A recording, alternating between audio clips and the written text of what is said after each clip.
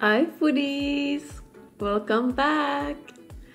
Uh, bear with me, okay, because I'm not used to do um, voiceovers. So yeah, um, today we're gonna be cooking uh, enchiladas. Um, it's a recipe from uh, HelloFresh.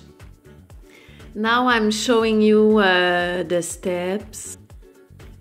I'm starting um, a new playlist on my channel. It's gonna be called uh, What's for Dinner. Uh, I receive HelloFresh uh, every Monday. Let's hope it's the right one. Yeah, it's the right bag.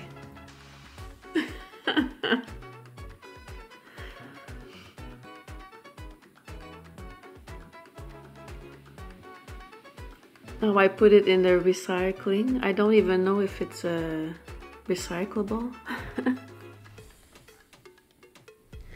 so I'm showing you all uh, the ingredients. Uh, it was my first time um, tasting uh, tomatillo salsa verde. It was really good actually.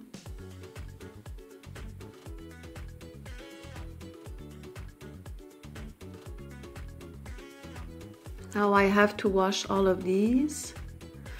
I'm filming uh, with one end, so uh, yeah.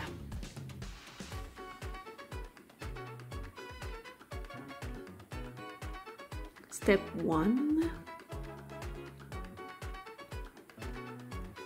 I wish it was uh, fast like that uh, when I'm cooking because I'm really slow.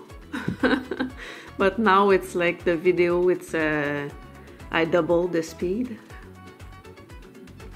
And yeah, I'm um, always putting gloves because one time I cut the, the poblano pepper and uh, my hand, it was really, how do you say, tick tickling?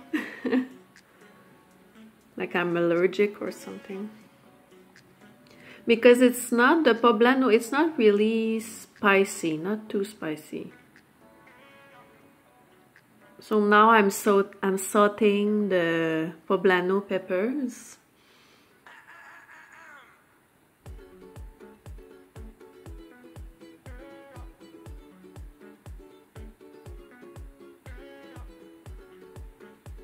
The tomatoes, the green uh, onions, and the black beans. This is um, a vegetarian quesadillas. There was no meat.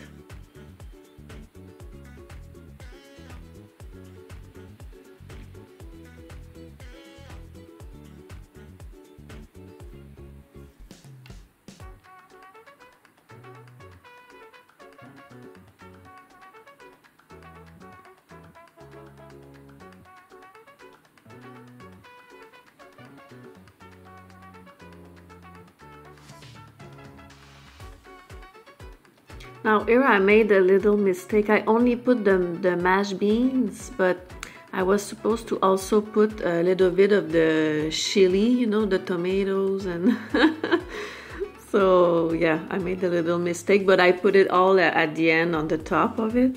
I know it's it's not the way you're supposed to do it, but now the cheese, uh, the salsa verde, I put it in the oven. And now I'm making a little uh, sour cream sauce that's gonna go on top of it. Mm. And yeah, I put it all on the top. I was not supposed to do it, but it's okay. It was still good. My kids didn't really enjoy, they didn't eat it because it was um, a little bit spicy for them. But yeah, a little food, food porn here. Thank you for watching guys and the next one it's gonna be a Jessica Alba recipe so don't miss that. Bye.